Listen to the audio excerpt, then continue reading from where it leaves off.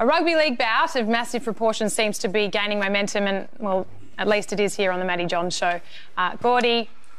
What's up, Lara? Up against David Klemmer. It's making the papers uh, now. You've you've started.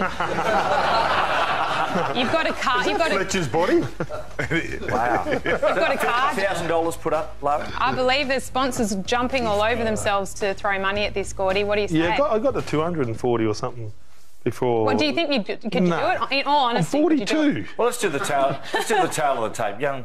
Okay, Gordon Tallis versus David Klemmer. Let's have a look at some of their, their best work. This one, of course, is oh, oh. against poor old Terry O'Connor. Gordon hit, that, hit him with that many rights. He was begging for a left.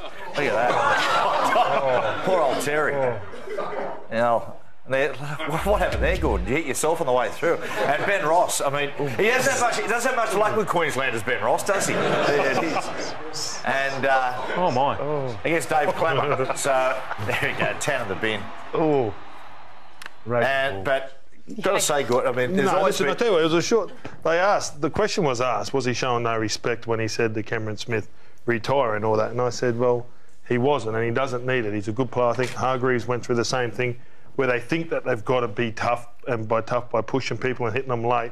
He's too good for that. You saw tonight when he concentrated on footy, he come off the back fence. He like his actions does his talking. He doesn't need to push and punch people. And then he's come into Origin and he was, I, and I think he got the horse or the cart before the horse.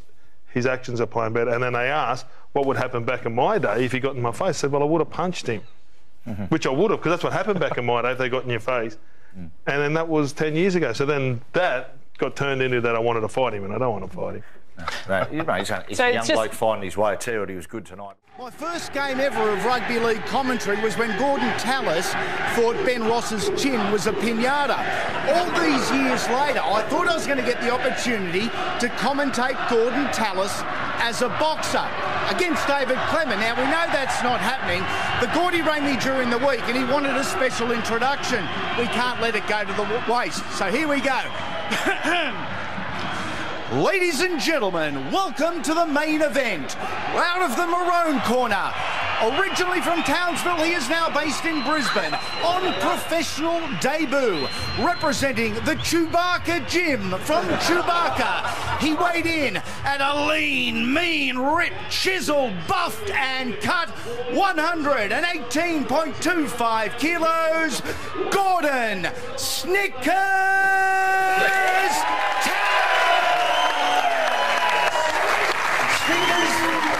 Gordy's satisfied. Ah, nice work, great work, Andy. Calls a lot of the fights, and uh, I like we're gonna- cherry ripes. Well, we're going to talk about uh, that later with uh, Lara Pitt. You wanted some news on that, uh, yeah, that prize fight.